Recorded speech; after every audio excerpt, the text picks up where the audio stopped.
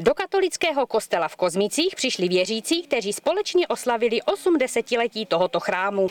My jsme tak staré, jak ten kostel. Věk lidský 80 roku to už je dost hodně, ale co se týče kostela, je to víceméně mladý kostel 80 roku, protože máme kostely, za, které mají 200, 300, 800 let.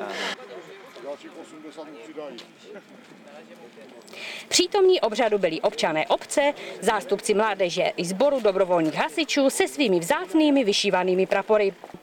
Poděkování začalo už před samotným kostelem, kde byly posvěceny nové schody.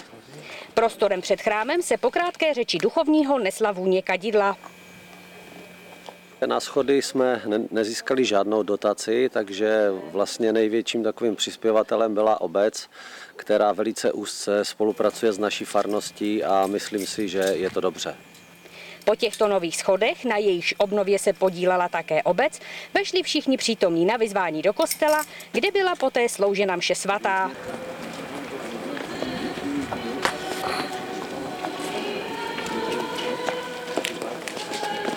Těch 80 let je úplně nádherný věk a věřím, že v podstatě pokud bude ta spolupráce pokračovat mezi obcí, farností a strašně moc lidma, kteří přispěli a kteří pomáhají, tak eh, si myslím, že v Kozmicích to máme nastartované velice dobře. Duchovní mimo jiné poděkoval všem za péči, kterou věnovali a věnují kostelu i okolí.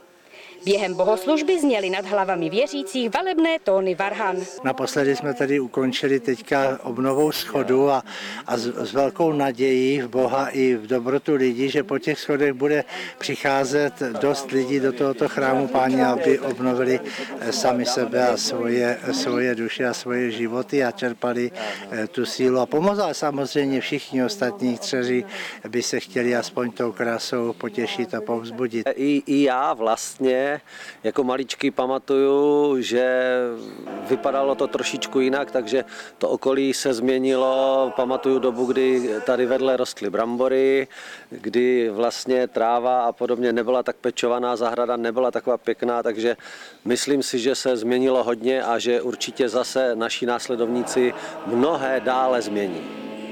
Kozmický kostel prošel v uplynulém období mnohými venkovními restaurátorskými změnami a úpravami a tento chrám je nyní právem chloubou obce. E, velké poděkování samozřejmě patří stavební firmě pana Winklera, ale i firmě pana Mokrého, který se podílel na těch opravách a hodně nám s těma schodama pomohl.